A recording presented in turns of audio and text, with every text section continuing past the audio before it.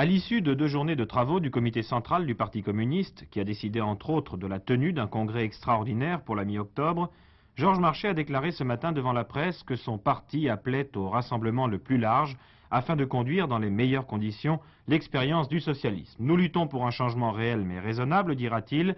Fini cette caricature que l'on fait trop souvent de nous, nous ne sommes pas des partisans du tout ou rien.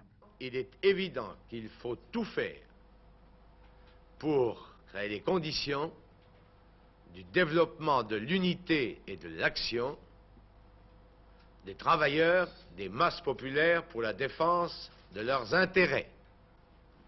Pas besoin de justifier que c'est légitime, il suffit, il suffira plutôt de prendre connaissance du nième plan d'austérité de M.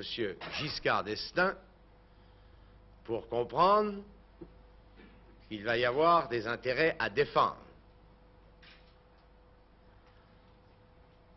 Pendant une période, le t-shirt à la mode était Giscard à la barre. On pourrait maintenant ajouter qu'avec Giscard, c'est vraiment le coup de barre pour les contribuables. Pour Georges Marchais, le départ de Jean-Jacques Servan-Schreiber du gouvernement prouve le peu de sérieux de la nouvelle équipe ministérielle. Puis il parle de l'abaissement de l'âge électoral à 18 ans. Ils en ont fait dans les rues des manifestations, les jeunes, pour avoir ce droit de vote à 18 ans. Par conséquent, je considère que c'est un succès euh, à l'actif des forces démocratiques qui, à l'opposé des forces conservatrices, font confiance, elles, à la jeunesse.